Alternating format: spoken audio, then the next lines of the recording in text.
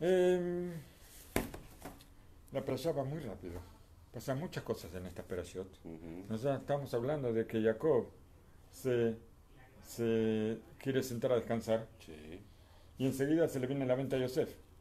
Y Yosef, rey. Yosef, no, todavía no. Todavía es en no. Miqués. Ah, tenés razón.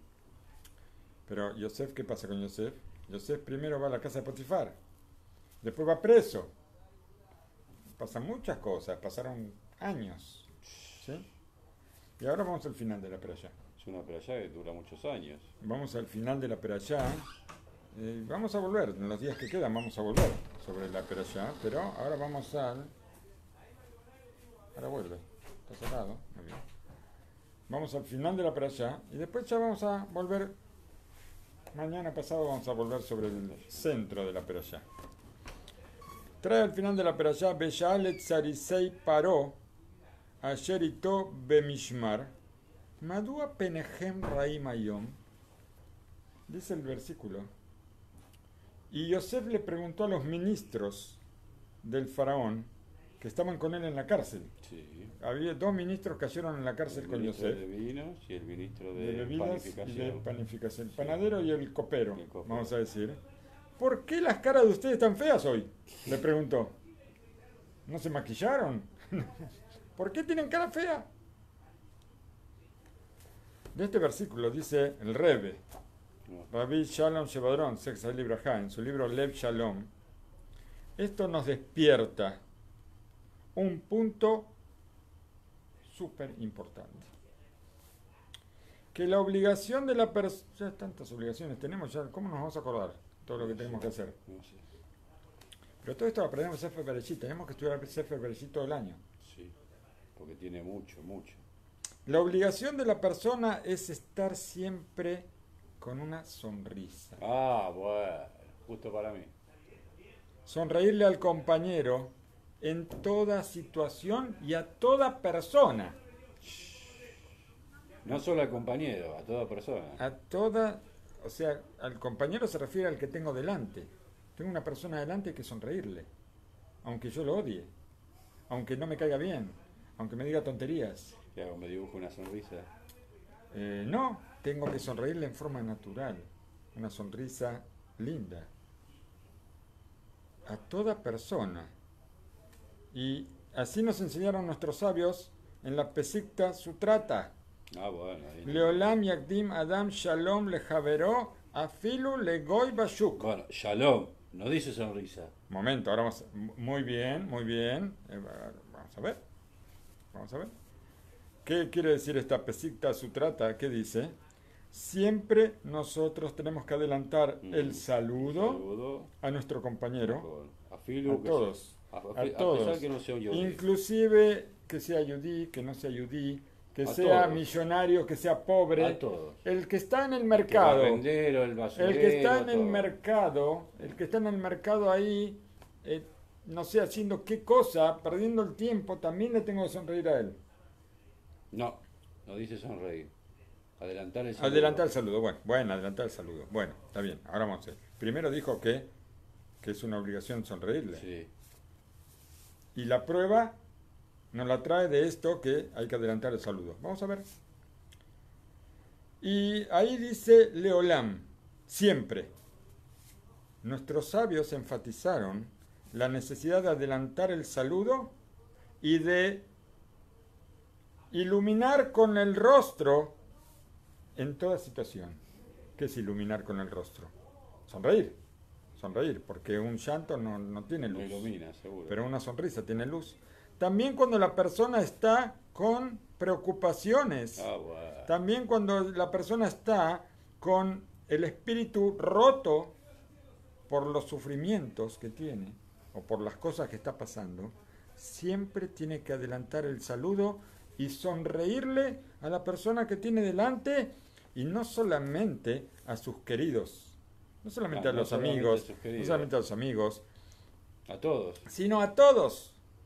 Ah, eso Dice, si no, un momento, momento. Primero dice, sino a todo yudí. Y no solamente al todo yudí, sino también a la, a la gente de otros pueblos también. O sea, a todos. A cualquiera. A toda persona.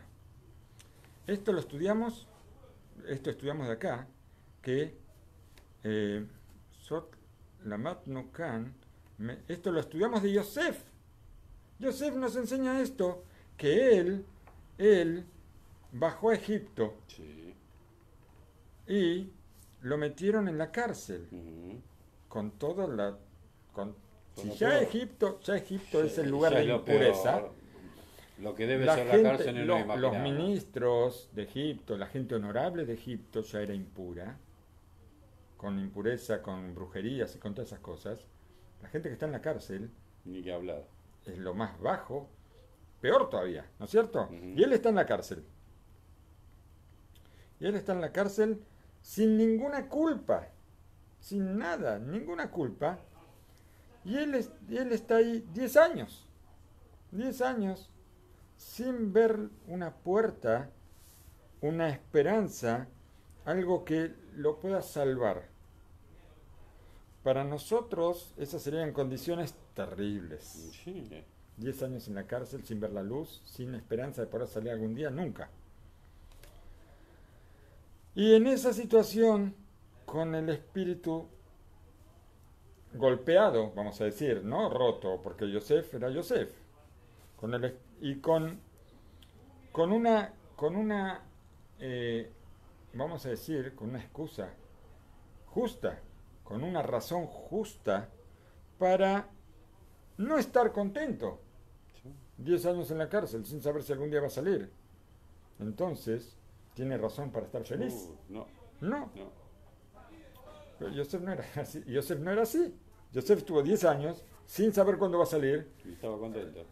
y él, y él ve que estos dos ministros hoy tienen la cara fea. No se lavaron la cara hoy. Hoy tienen la cara fea, ayer no. Ayer no, hoy. Ayer no. Hoy tienen la cara más fea que ayer. Y les pregunta, ¿por qué? ¿Por qué tiene esa cara? ¿Por qué tiene esa cara?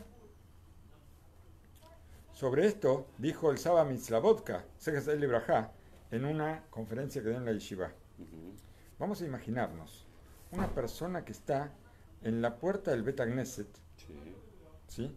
El Betagneset está lleno de gente, de punta a punta está lleno el Betagneset, esta persona en la puerta y tiene un, un, eh, un botellón, un barril Ujú. lleno de leche. ¿sí? Cuando la gente empieza a salir, él a cada uno lo frena y le da un vaso de leche Ajá. a cada uno. ¿sí? No, no me cabe ninguna duda de que esto, eh, con, este, con esta acción, él va a eh, recibir la sorpresa de la gente. La gente se va a sorprender con lo que hace, eh, porque está haciendo una buena acción, ¿no es cierto? La gente sale, estuvo una hora, una hora y media haciendo tefilá, y ahora él los espera a la, a la salida con un vaso de leche a cada uno. Entonces la gente se va a sorprender de la buena acción que este hombre hace. Sigue diciendo el Saba, el Saba Slavodka. Nosotros tenemos una prueba. eh, esto, esto, esto es una prueba para nosotros. Una prueba, un reproche para nosotros, para todos nosotros. ¿Por qué? Porque con tanta facilidad nosotros podemos eh, em, elevarnos a una categoría superior. No hace falta un vaso de leche para hacerle bien a una congregación que está pasando por al lado nuestro. Alcanza con sonreírle a la gente que pasa por nuestro camino, sonreírle. Y con eso se cumple lo que dicen nuestros sabios en el Tratado de Ketubot, que es mejor, mejor eh, blanquear los dientes de mi compañero más que darle de tomar leche. A propósito trajo el ejemplo de la leche. Por blanco, claro. blanquear los dientes del compañero hacerlo sonreír, que se vean los dientes blancos, aunque no los tenga o se le hayan caído, no importa, Bueno, pero una sonrisa, la sonrisa. De las palabras de nuestros sabios, nosotros podemos entender que es más fácil, más fácil. Ojo con lo que voy a decir acá. De las palabras de nuestros sabios, nosotros entendemos que es más fácil darle un vaso de leche a una persona que hacerla sonreír. Así es. ¿Y es más fácil? Es más fácil que esforzarnos por nosotros sonreírle al compañero. No, hacer, no estoy hablando de hacerlo sonreír a él, al que pasa. No, sonreírme Yo yo. sonreírle, yo sonreírle a él. Prefiero darle un vaso de leche más fácil. Cuando nosotros pensamos en esto, con lo que pasó con Yosef, desde el día que él salió de la casa del padre hasta que llegó al, a ser rey de Egipto, nosotros vemos que todos 22 los, años. todos estos sucesos, todos los sucesos, eh, fueron una cadena larga de pruebas para Yosef. Tenemos eh, em, Masé Grar. Grar, ¿qué pasa en Grar? Masé Grar. No, no, no, no, perdón. Y un hecho arrastró al otro.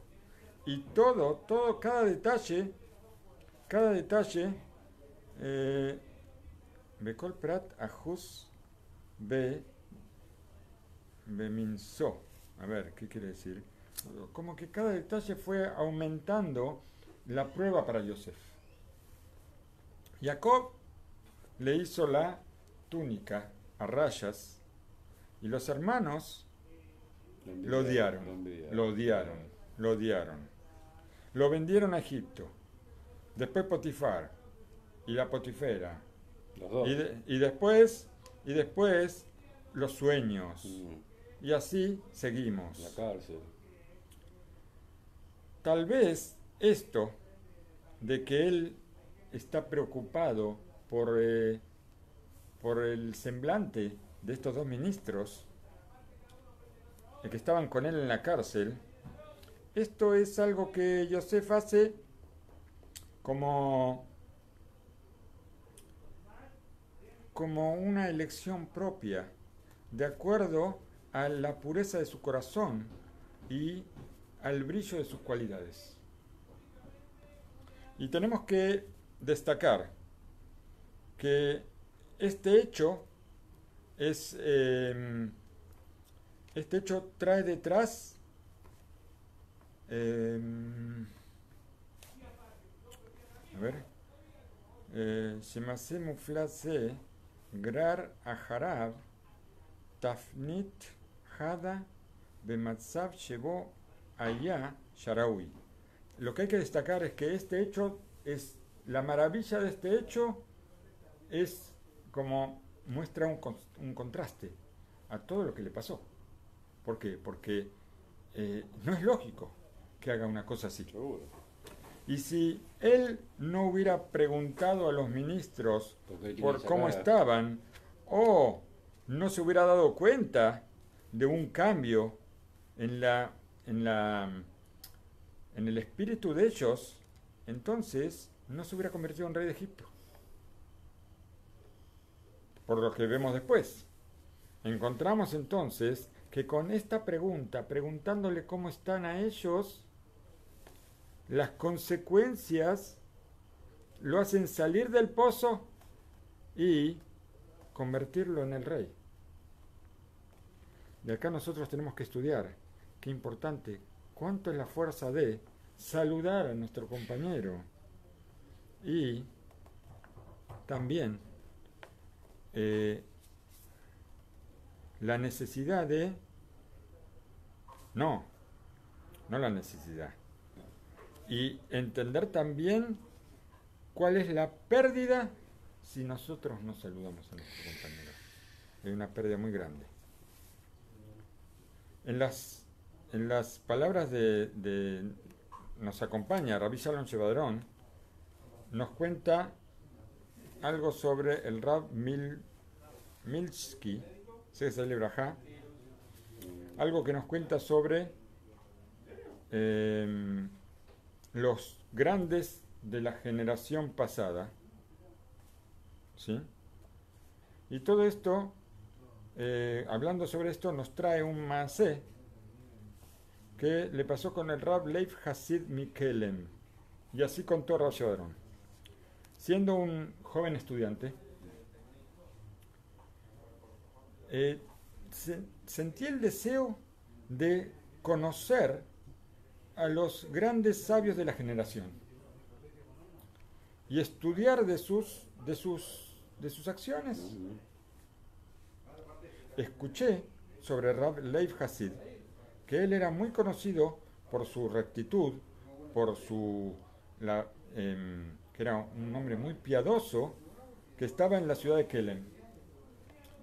Y puse mis pies en camino hacia Kelen cuando y fui a buscar a ver dónde vivía y golpeé a la puerta de la casa.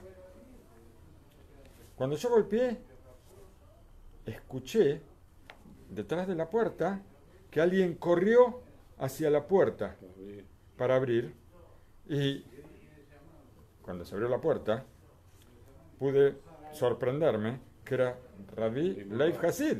Él mismo corrió a abrir la puerta. Y cuando, ¿por qué? Porque apenas escuchó que golpeó, se apuró enseguida a abrir.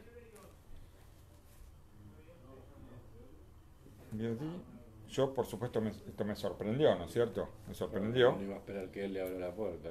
Y eh, me extendió la mano,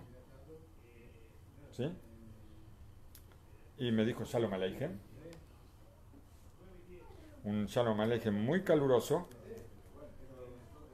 con una dulzura que para describirla necesito, necesito el lápiz de un escritor, de un, de un, de un poeta, de, un, de una persona que hace literatura, para poder describir la dulzura con la que me habló. Enseguida él me tomó con las dos manos y me entró a la casa y me empezó a eh, me empezó a hablar con la mano agarrándome el hombro agarrándome el hombro como si fuéramos amigos de, de, años. Mientras me preguntaba con mucha con mucho con mucho corazón con mucho cariño me preguntó cómo estaba me preguntó qué hacía, me preguntó ¿Cómo, te sentí? Eh, cómo me sentía, cómo están los chicos, cómo está el sustento. Todas preguntas. Eh, y después empezamos a hablar, empezamos a hablar y, cuando me hablaba, una, la sonrisa no se apartaba de su rostro y tampoco la mano se apartaba de mi hombro.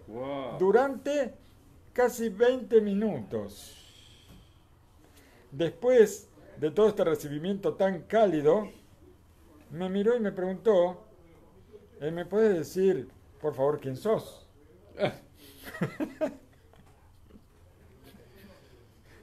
o sea, sin saber quién era, todo este, toda esta calidez fue sin saber quién era. Ahora entendí que él no me conocía, no sabía quién era.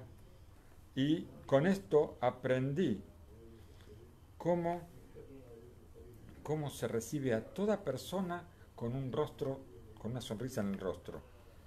Tal cual, tal cual, así aprendí a toda persona, a todos, a todos, a todos, con una sonrisa, con un con, con, con lo mejor de uno.